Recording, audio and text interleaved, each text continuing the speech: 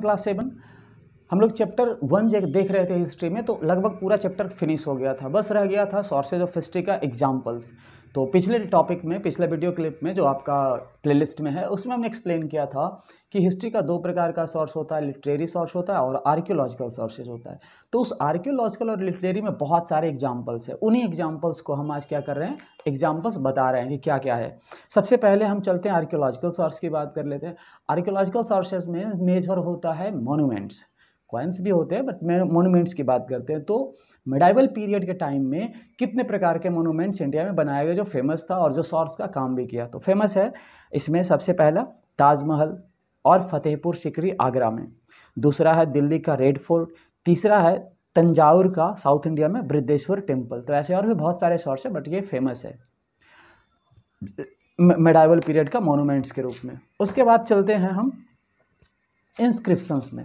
तो what means inscription inscription मतलब क्या होता है? The return records on the hard surface और the ball of any monuments किसी भी दीवार पे या हार्ड सरफेस पे जो इंग्रेव्ड किया हुआ रहता है, लिखा हुआ रहता है, उस टर्म को उसे कहा जाता है इंस्क्रिप्शंस तो बहुत सारे इंस्क्रिप्शंस भी मेडाइवल क्लास के मिले मेडाइवल लिखा हुआ, जैसे कहाँ कहाँ मिला? एग्ज़ाम्पल रेड फोर्ट के वॉल्स पे मिला ताजमहल के वॉल्स पे मिला और फतेहपुर सिकरी के वॉल्स पे भी मिला। और बहुत सारे राजपूत का जो पैलेस था, महल था, उसकी दीवारों पे भी बहुत सारे इंस्क्रिप्शंस मिले हैं।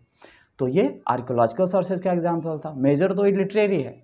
समस्या तो लिटरेरी में है, क्योंकि लिटरेरी में तीन प्रकार के टॉपिक को देखना है। ट्रेवलेजर्स अकाउंट देखना है बायोग्राफीज देखना और ऑटोबायोग्राफीज देखना। तो बिना टाइम को बेस्ट किए हुए इन तीनों को भी हम लोग कवर करते हैं। तो सबसे पहला है ट्रैवलर्स अकाउंट तो ट्रैवलर्स अकाउंट में, चलो शुरू करते हैं ट्रैवलर्स का नाम और उसका साथ साथ उसका बुक को लिखा गया।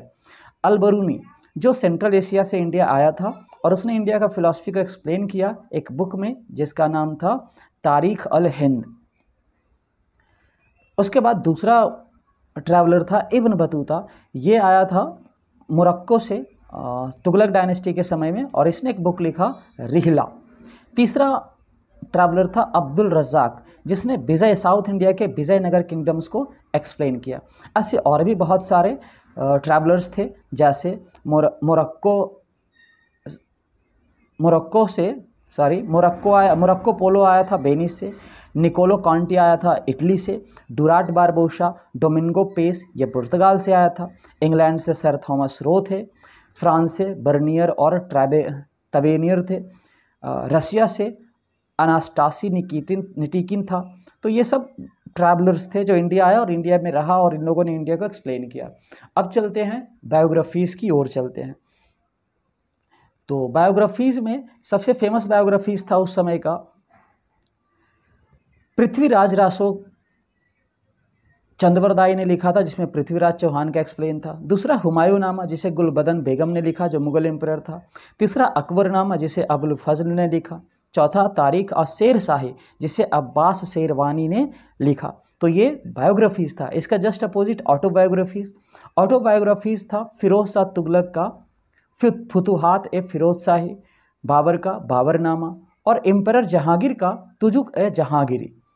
इसके अलावा एक और टॉपिक है क्रॉनिकल्स क्रॉनिकल्स मतलब कहते हैं कि इवेंट्स को, राजा का सारे इवेंट्स को chronicle wise event wise explain करना। तो कुछ क्रॉनिकल्स के भी एग्जांपल्स को हम लोग देख लेते हैं। तो क्रॉनिकल्स में सबसे पहला क्रॉनिकल्स है, राज तरंगनी बहुत मोस्ट फ़ेमस कलहन का, जो कश्मीर के राजाओं का हिस्ट्री बताता है। दूसरा जिया उद्दीन बर्नी का, तारीख ऑफ़ फिरोज शाही, जो दिल्ली सल्तनत के सुल्तानों को एक्सप्लेन करता है। तीसरा था, तारीख ऑफ़ फरिश्ता फरिश्ता ने एक्सप्लेन किया, दिल्ली सुल्तान की हिस्ट्री को एक्सप्लेन किया इसने भी। इसी तरह से और भी है, तुगलक नामा है और खाजिनुल फुतूहा, फुतूह जिसे अमीर खुसरो ने लिखा, जिसमें खलजी और तुगलक के समय को एक्सप्लेन किया गया। तो ये हिस्ट्री का चैप्टर वन का यही सारा पॉइंट्स हम लोग इनकम्प्लीट छोड़ दिए थे, नहीं कर पाए थे उस वीडियो लेक्चर में। तो आज हमने सारा एग्ज़ाम्पल आपके सामने रख दिया। अगले वीडियो क्लिप में आपके लिए हम अगला चैप्टर लेके आएँगे और अब प्रयास करेंगे कि इस प्रकार से वीडियो आपके लिए ना बनाए। अब डायरेक्ट जैसे स्कूल क्लास कोचिंग वगैरह में पढ़ाते हैं सेम वैसे ही आपका बोर्ड पे एक्सप्लेन करेंगे टॉपिक को और ज़्यादा से ज़्यादा टॉपिक कवर करने का प्रयास करेंगे। Then that all for today